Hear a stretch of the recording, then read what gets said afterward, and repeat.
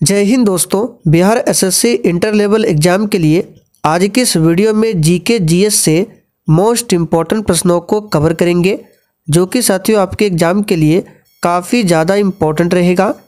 तो साथियों, आप सभी सेशन को बिना स्किप किए लास्ट तक पूरा ध्यानपूर्वक देखिए और साथियों, जो भी चैनल पर पहली बार आए हैं, आप लोग क्लास टाइमिंग को नोट कर लीजिए। ये क्लास आपको रात साढ़े आठ बजे लाइव चैट के साथ दिया जाता है। तो आप सभी टाइमिंग को ज़रूर ध्यान रखें। तो चलिए फ्रेंड्स रात के साढ़े आठ बज चुके हैं। फटाफट से आप सभी लाइव में जुड़ जाइए। सभी फ्रेंड्स को गुड इवनिंग गुड इवनिंग तो चलिए साथियों, आज का पहला क्वेश्चन देखिए। ब्रह्मांड में किन्हीं दो निकायों के बीच गुरुत्वाकर्षण बल किस पर निर्भर नहीं करता है? सभी ऑप्शन को ध्यान से पढ़िए। और साथियों, प्रत्येक स्टूडेंट को नीचे लाइव चैट में अपना अपना आंसर देना है। जिससे आप सभी का प्रॉपर तरीके से रिवीजन भी हो सके। तो ब्रह्मांड में किन्हीं दो निकायों के बीच जो गुरुत्वाकर्षण बल होता है, किस पर निर्भर नहीं करता है? तो याद रखिएगा, उनके द्रव्यमानों के योग पर निर्भर नहीं करता है। बाकी उनके बीच की दूरी, उनके द्रव्यमानों के गुणनफल और गुरुत्व स्थिरांक इन सभी पर निर्भर करता है। गुरुत्वाकर्षण बल एफ़ बराबर क्या होता है? तो आप सभी जानते हैं G into M one into M two बटे क्या होता है? आर स्क्वायर होता है। तो बल देख सकते हैं, ये गुरुत्वीय स्थिरांक पर निर्भर करता है, द्रव्यमान के गुणनफल पर निर्भर करता है और उनके दूरी के वर्ग दूरी के वर्ग पर भी निर्भर करता है, लेकिन उनके द्रव्यमानों के योग पर नहीं, ये गुना पर निर्भर करता है। तो डी ऑप्शन यहाँ पर आपका सही जवाब है। आगे देखिए, दबाव की एस आई इकाई क्या है?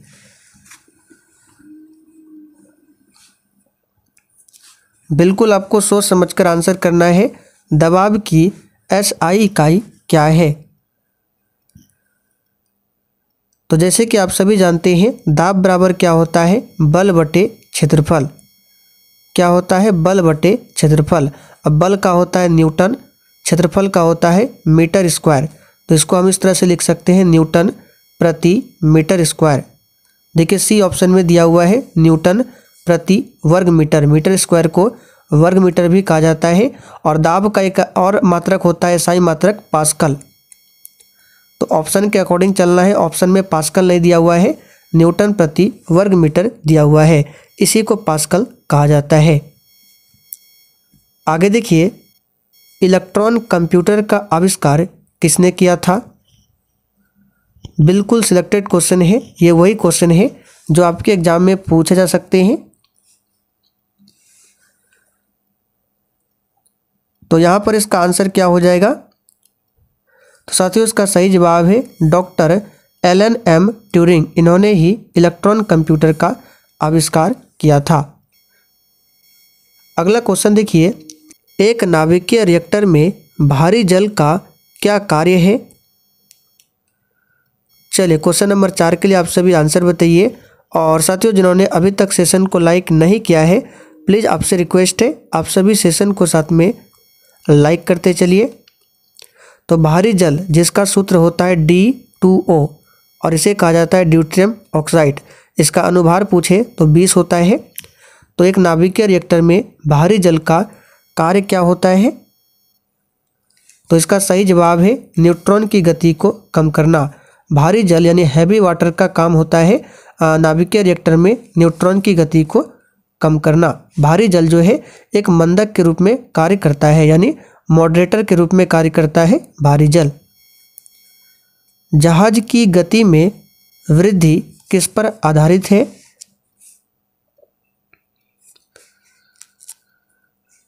चलिए क्वेश्चन नंबर पाँच के लिए आंसर बताइए। और साथ ही यहाँ से क्वेश्चन ध्यान रखना है, और भी पूछा जाता है इस नाभिकीय रिएक्टर में नियंत्रक छड़ के रूप में किसका इस्तेमाल होता है? कैडमियम या फिर बोरोन का छड़ का उपयोग किया जाता है नियंत्रक छड़ के रूप में। इसे भी ध्यान रखिएगा। तो जहाज़ों की गति में वृद्धि जो है, ये आर्केमिडीज का सिद्धांत पर आधारित है। तो यहाँ पर पहला ऑप्शन जो ही बच्चे बता रहे हैं, उनका बिल्कुल सही जवाब है आर्किमिडीज का सिद्धांत। जो पानी वाला जहाज़ होता है, उसी की बात की जा रही है। जल की बूंद से खाली स्थान होकर इंद्रधनुष बनता है। चलिए क्वेश्चन नंबर छः के लिए आंसर बताइए। जल की बूंदों से खाली स्थान होकर इंद्रधनुष बनता है। तो साथियों, जल की बूंदों से प्रकाश का प्रतिबिंबन एवं अपवर्तन होकर इंद्रधनुष का निर्माण होता है। तो यहाँ पर सी ऑप्शन आपका सही जवाब है। प्रकाश का प्रतिबिंबन एवं अपवर्तन। नियत चाल से गति करने वाली वस्तु का दूरी समय ग्राफ एक होता है।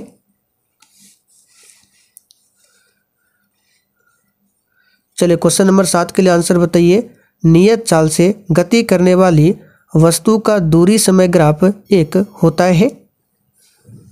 तो यहाँ पर क्वेश्चन नंबर आठ के लिए आंसर हो जाएगा। सरल रेखा होता है। ध्यान रखिएगा। डाल्टन का सिद्धांत किस पर आधारित है?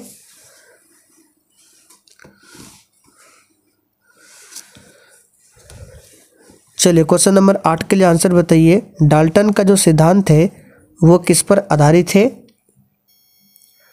तो साथियों, डाल्टन का सिद्धांत रासायनिक संयोजन के नियम पर आधारित है। यहाँ पर पहला ऑप्शन आपका सही जवाब है। ऑप्शन के अकॉर्डिंग ही आपको आंसर करना है। तो डाल्टन का सिद्धांत जो है, रासायनिक संयोजन के नियम पर आधारित है। आगे देखिए, ऑप्टिकल करेक्टर रीडर यानी कि ओसीआर किसका एक उदाहरण है?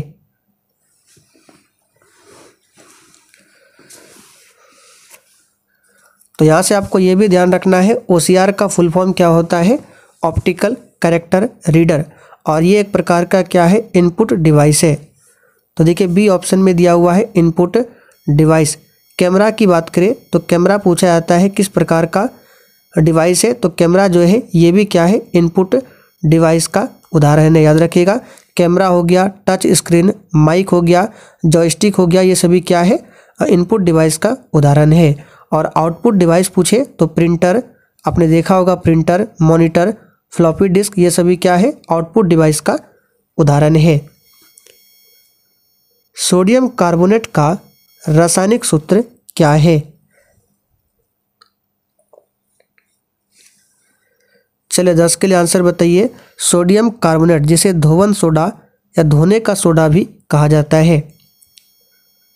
तो इसका फॉर्मूला क्या होता है? N A two C O three ये क्या है? धोने वाला सोडा। और एक होता है N A H C O three ये क्या है? सोडियम बाइकार्बोनेट, जिसे खाने वाला सोडा भी कहा जाता है।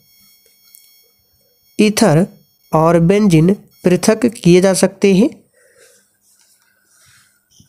चलिए, ग्यारह के लिए आंसर बताइए। एक एक क्वेश्चन एग्ज़ाम के लिए इम्पोर्टेंट है, इसलिए एक भी क्वेश्चन को आपको स्किप नहीं करना है। तो साथियों, ईथर और बेंजिन पृथक किया जा सकता है। तो आसवन विधि द्वारा यहाँ पर बी ऑप्शन आपका सही जवाब है, आसवन विधि। यूरिया का द्रव्यमान क्या है? यूरिया का देखिए फॉर्मूला लिखा हुआ है, इसे भी ध्यान रखिएगा। N H two C O N H two ये क्या है? यूरिया का द्रव्य ये यूरिया का सूत्र है। तो यहाँ पर इसका आंसर डायरेक्ट याद रख लीजिए। यूरिया का जो द्रव्यमान संख्या है, ये साठ होता है। कितना होता है? साठ होता है। सौर ऊर्जा किसके द्वारा उत्पन्न होता है? चलिए आंसर बताइए फटाफट से। सौर ऊर्जा किसके द्वारा उत्पन्न होता है? तो यहाँ पर इसका आंसर क्या हो जाएगा? सौर ऊर्जा जो है, ध्यान रखना है, ये संलयन प्रक्रिया द्वारा उत्पन्न होता है। यानी कि सूर्य जो है जिससे सौर ऊर्जा निकलता है, ये नाभिकीय संलयन के सिद्धांत पर काम करता है। और साथ ही यहाँ पर ध्यान दीजिए, अगर आप लोग यहाँ पर निकालना चाहते हैं, द्रव्यमान संख्या कैसे निकाला जाता है? थोड़ा सा आपको बता देते हैं, देखिए N H two C O फिर क्या है? एन एच टू तो एन क्या है? नाइट्रोजन है। इसका परमाणु क्रमांक सात होता है तो परमाणु भार हो जाएगा चौदह। ठीक है, ये हो गया आपका चौदह प्लस हाइड्रोजन का क्या होता है? एक होता है तो दो हाइड्रोजन है तो दो गुना एक, क्या हो जाएगा? दो हो जाएगा प्लस फिर देखिए कार्बन है सी कार्बन का परमाणु क्रमांक छः होता है, द्रव्यमान संख्या बारह होता है तो यहाँ हम लिख देंगे बारह, फिर प्लस ऑक्सीजन का कितना होता है? परमाणु क्रमांक आठ तो परमाणु भार कितना हो जाएगा? सोलह। उसी प्रकार फिर एन का यहाँ पे चौदह हो जाएगा और हाइड्रोजन दो है तो यहाँ पे हो जाएगा दो। अब इन सभी को ऐड कर दीजिए, ये आपका आ जाएगा साठ, जो कि सी ऑप्शन में दिया गया है। आगे देखिए, मानव शरीर की कोशिकाओं में पाए जाते हैं। चलिए क्वेश्चन नंबर चौदह के लिए आंसर बताइए। और साथियों, आप लोग डेली क्लास को अटेंड कीजिए। अब प्रयास करेंगे। अब बिहार एसएससी के लिए डेली क्लास लेने का टाइमिंग ध्यान रखना है। रात साढ़े आठ बजे से पीडीएफ आपको टेलीग्राम पर मिल जाएगा। टेलीग्राम का लिंक इसी वीडियो के नीचे डिस्क्रिप्शन बॉक्स में दिया हुआ है। तो सिंपल सा क्वेश्चन है। यहाँ पे आंसर होगा डी यकृत कार्य करता है। चलिए, पंद्रह के लिए आंसर बताइए। यकृत कार्य करता है। तो यकृत जो है, पाचन का कार्य करता है। यहाँ पर डी ऑप्शन में दिया हुआ है, पाचन। भोजन, यानी कि खाद्य पदार्थ के संबंध में इनमें से कौन सा कथन असत्य है?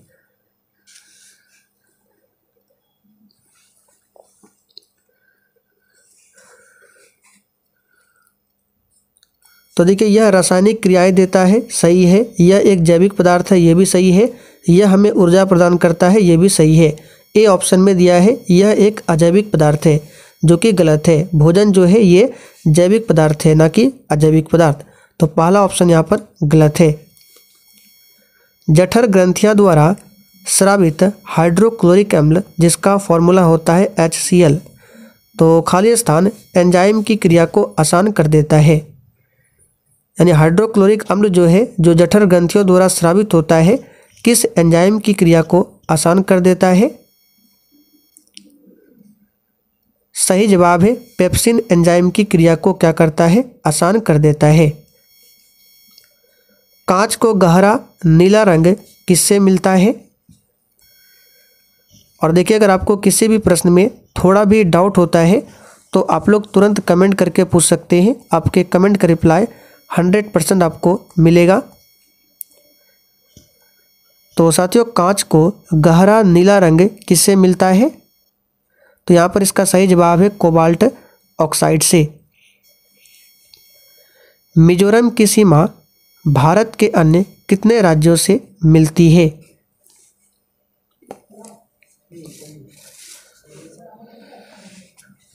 तो जब आप लोग इंडिया मैप को देखेंगे तो मिजोरम की सीमा जो है, भारत के टोटल तीन राज्यों से मिलती है।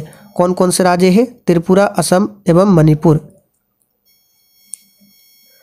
किस संशोधन अधिनियम द्वारा लोकसभा तथा विधानसभाओं की अवधि पाँच वर्ष के स्थान पर छः वर्ष किया गया था?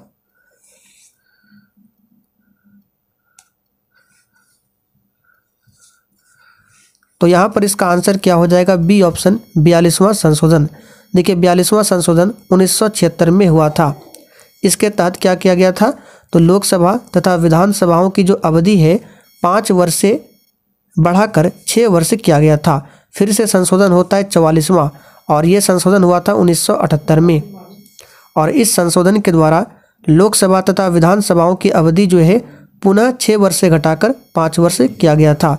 तो पहले जो है, बयालीसवां संशोधन के तहत लोकसभा और विधानसभा की अवधि पाँच से बढ़ाकर छः वर्ष किया गया।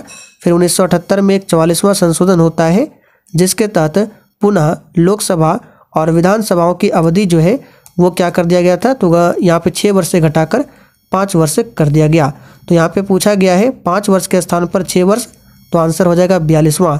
लेकिन अगर आपसे पूछे छः वर्ष के स्थान पर पाँच वर्ष कब किया गया था? तो ये चौवालीसवां, उन्नीस सौ अठहत्तर में। तो फ़िलहाल आंसर कौन सा हो जाएगा यहाँ पर? B option.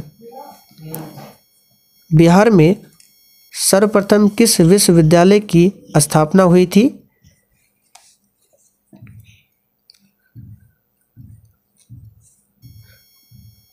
तो बिहार में सबसे पहले पटना विश्वविद्यालय की स्थापना होती है। यहाँ पर पहला ऑप्शन आपका सही जवाब है और इसकी स्थापना कब हुआ था? तो 1917 में याद रखिएगा। और भारत में सबसे पहले पूछे आ, किस विश्वविद्यालय की स्थापना हुई थी? तो भारत में सबसे पहले अठारह संतावन अठारह में कलकत्ता बॉम्बे और मद्रास में एक एक विश्वविद्यालय की स्थापना हुई थी। और तीनों विश्वविद्यालय की स्थापना किसके समय में? तो लॉर्ड कैनिंग के द्वारा किया गया था। इसे भी ध्यान रखिएगा कौन कौन सा विश्वविद्यालय? तो कलकत्ता बॉम्बे और Madras. Organisation of Islamic conference, यानी ओआईसी इसका मुख्यालय कहाँ पर अवस्थित है?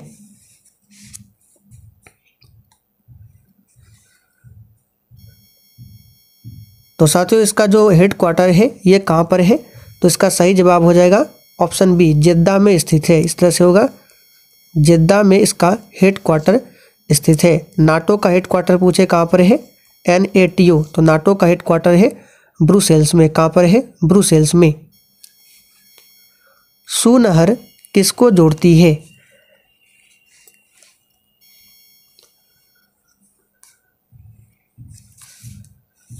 तो साथियों, सुनहर की बात करें तो ये सुप्रियर झील एवं ह्यूरोम को जोड़ती है, जो कि डी ऑप्शन में दिया गया है, सुप्रियर और ह्यूरोम को। और सुनहर कहाँ पर है? तो ये यूएसए में स्थित है, यानी अमेरिका में स्थित है सुनहर। अगला क्वेश्चन देखिए। रिज़र्व बैंक ऑफ़ इंडिया के प्रथम भारतीय गवर्नर कौन थे?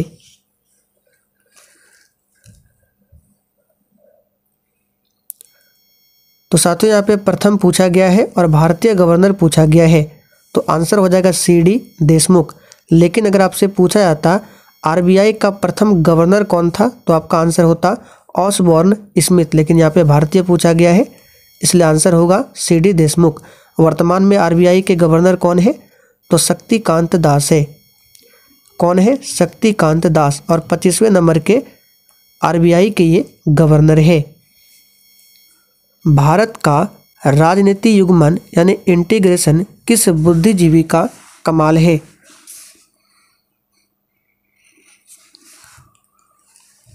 सही जवाब है सरदार वल्लभ भाई पटेल।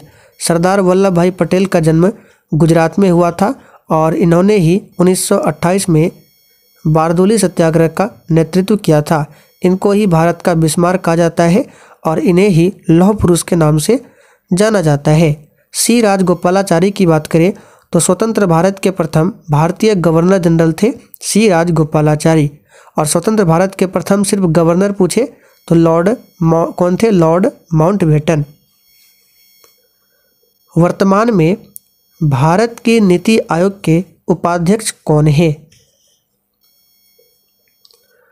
चलिए आंसर बताइए। नीति आयोग की स्थापना एक जनवरी 2015 को किया गया था। योजना आयोग के स्थान पर। नीति आयोग का अध्यक्ष स्वयं प्रधानमंत्री होता है, जो कि वर्तमान में श्री नरेंद्र मोदी है।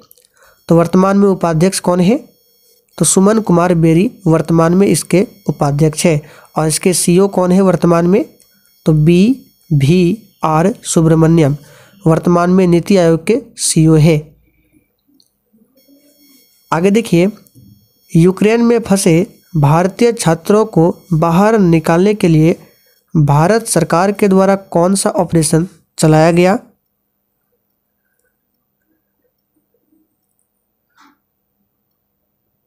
ये पुराना करंट अफेयर्स है तो इसका बता देते हैं ऑपरेशन गंगा को चलाया गया था।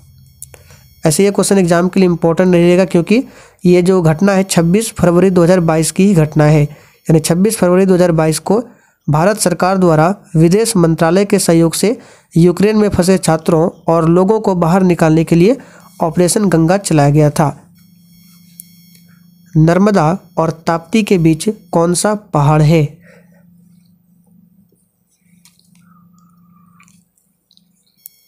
तो इसके बीच सतपुड़ा का पहाड़ है। याद रखिएगा किसका? सतपुड़ा।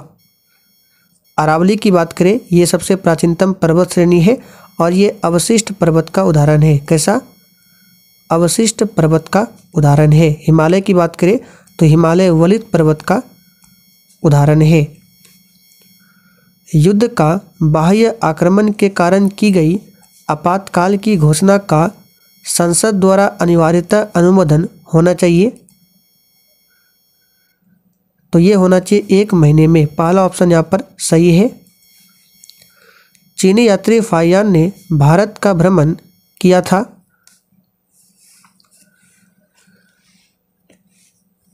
तो साथियों, चीनी यात्री फाइयान ने भ्रमण किया था चंद्रगुप्त द्वितीय के शासनकाल में। यहाँ पर सी ऑप्शन में दिया हुआ है, याद रखिएगा। और फाइयान की बात करें तो बौद्ध धर्म की ज्ञान प्राप्ति के लिए भारत आया था। तो चलिए साथियों, आज के लिए इतना ही। अब आप लोग कमेंट करके बताइए, आपने आज के इस तीस क्वेश्चन में कितने क्वेश्चन के सही सही आंसर किए हैं? और ये सभी क्वेश्चन एग्ज़ाम के लिए काफ़ी ज़्यादा इंपॉर्टेंट है तो फिर से इसे रिविज़न ज़रूर कीजिए।